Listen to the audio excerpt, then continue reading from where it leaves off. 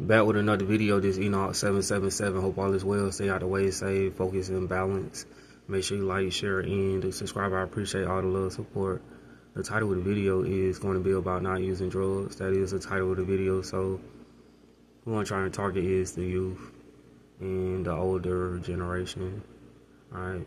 So, the drug I'm talking about is crack. That is what I'm talking about. So, what has happened is certain stuff has been placed around you, right, for a reason, and that is to destroy your health and your mind, right? So it works with your consciousness as well. So it's not the real stuff, and even if it was real stuff, you wouldn't want to do it, right? So it's not the raw form. What I mean by this is uh, it's connected to coca leaves and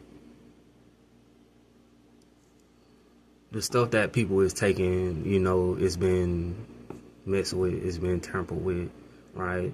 And it's not a pure form. So whenever you begin to put the stuff within your body, right, what happens is it starts to affect your overall health, right?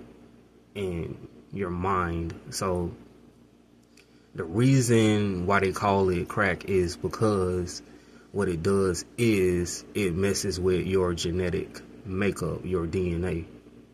So what I mean by this is, right, with your skin, if you begin to take it too much, what will happen is your skin will literally start to crack, right? So it will literally mess with your appearance. So if you take anything, right, you will want to take stuff like psychedelics because it holds information. So if you do stuff like crack, what will happen is that you won't get anything from it, just a high because stuff is supposed to contain information when you take it. So, but anyways, man, this Enoch 777 peace.